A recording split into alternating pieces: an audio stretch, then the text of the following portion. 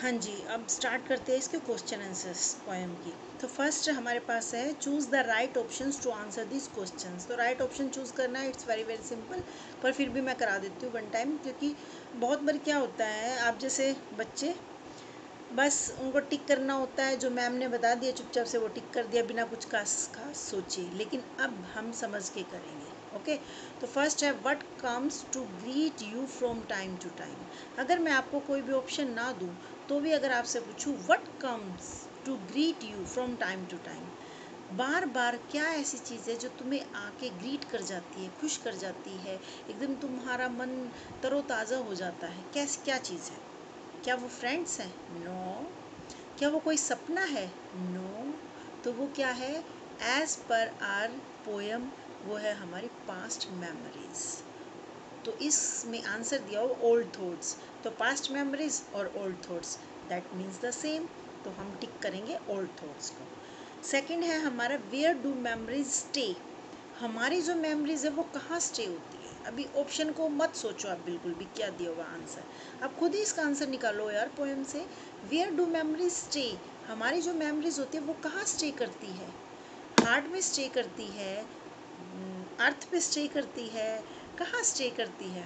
You better know these are the second line given in the poem the little things that happen are tucked into our mind तो हमारे mind में वो stay करती है talked हो जाती है, और टक्ड का मीनिंग क्या है? हिडन तो हमारा ऑप्शन इसमें दिया हुआ है। अब हमें ऑप्शन की ढूँढने की ज़रूरत भी नहीं है। हिडन इन आर माइंड तो इसको टिक करेंगे। नेक्स्ट वन है हमारा what comes through the doorways what comes क्या आता है? थ्रू द डोरवेज डोरवेज से क्या आता है? आप अभी, मैंने पोएम को समझाया आपको, आप खुद ही बताओ कि हमारा जो डोरवेज है, जो माइंड का एक सिंबॉलिक हमने वर्ड लिया है डोरवेज उसे क्या कम्स आता है? अंदर की तरफ़ क्या आता है? बोलो। डोरवेज से क्या आता है? अभी पोएम को दोबारा पढ़ो आप। फ़र्स्ट स्टैंडा पढ़ने की कोई नीड नहीं है। सेकंड स्टैंडा पढ़ो।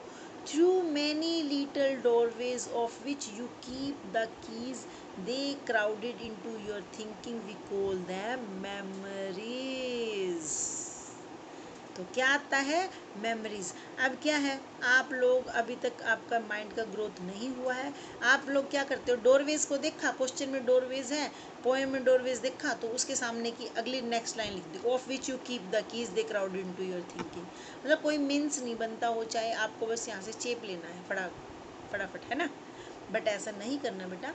आप इसको समझोगे तो बहुत ईजी है एकदम। वट कम्स क्या आता है? थ्रू द डोरवेज डोरवेज से क्या आता है अंदर की तरफ़? तो we call the memories memories आती है, बस इसको रिप्लेस कर दो, वट को रिप्लेस कर दो मेमरीज से। Memories comes through the doorways अब मैम ने इसमें आंसर चाहे कुछ भी कराया हो, हमें कॉपी करने की ज़रूरत नहीं इवन चेक करने की भी हमें कोई ज़रूरत नहीं है, क्योंकि हमें साफ़ साफ़ दिख रहा है कॉन्फिडेंस है हमें कि हाँ हमारा आंसर एकदम ठीक है। अब इसको हम memories comes through the doorways what को रिप्लेस कर दे मेमरीज से आंसर आगा या फिर थ्रू यहाँ से शुरू कर सकते हैं हम आंसर को through the doorways memories comes okay अब देखो लेट मी चेक कि मैम ने क्या लिखा है। मैम ने लिखा है the memory of little things that happen comes through the doorways अब मैम ने यहाँ से ले लिया, उठा के। The memories of the little things that happen comes through the doorways अब हम यहाँ पे ऑफ़ लिटल थिंग्स लिखने की कोई नीड नहीं है। हम सिर्फ़ मेमोरीज भी लिख सकते हैं, क्योंकि मेमोरीज जो है वो छोटी छोटी चीज़ों की मेमोरीज होती है। मेमोरीज तो ऑलवेज ही चीज़ों की होती है ना। तो थिंग्स लिखने की कोई नीड ही नहीं है। तो सिंपल सोवर लिखो memories come through the doorways next है what happens when the keys to some doorways get rusty जब किसी डोरवेज की कीज रस्टी हो जाती है तो वट हैपन्स क्या होता है? अब आप बताओ। मैंने पोएम पढ़ी थी आपके आगे। तो ऐसी क्या जब रस्ट आता है किसी कीज़ पे, क्यों आता है रस्ट क्योंकि वो ऐसे मेमोरीज से कनेक्टेड होती है, जो हम याद नहीं करना चाहते, वो कोई ख़ास नहीं होती, वो सिंपल सोबर होती है और वो खुद ही क्लोज ऑफ़ हो जाती है रिमूव्ड हो जाती है फॉरगेट हो जाती है। तो इसका आंसर आएगा, when the keys to some doorways get rusty rusty, the memories we forget. The things we forget. All the things we forget बस। अब ये देखो मैम ने इसमें लिखा है, इसी का ही सेकंड हमारे पास when the keys to doorways get rusty we forget those incidents तो दोज इंसिडेंट्स लिखने की यहाँ पे कोई नीड नहीं है। लिटिल थिंग्स लिखने की कोई नीड नहीं थी, जैसे ऐसे इंसिडेंट्स लिखने की। We forget those memories we forget those things तो इंसिडेंस इंसिडेंस का मतलब ही घटना होती है, कुछ घटना, कुछ घटित होना। तो यहाँ पे हम सिंपल लेंगे, हमें कोई इंसिडेंट लेके कोई ज़्यादा वो नहीं करना है टफ नहीं करना है, हम सिंपल सोबर कर सकते हैं। तो ये हमारा हो जाएगा we forget those memories we forget those things okay next one है third what happens to the memories of things you love अब देखो, सब में बोल रखा है वट हैपन्स क्या होता है, क्या होता वो चीज़ें जो हमें रस्टी लगती थी, वो हम फॉरगेट हो गए। और जो चीज़ें हमें प्यारी लगती थी लवेबल थी, वो हम क्या करेंगे?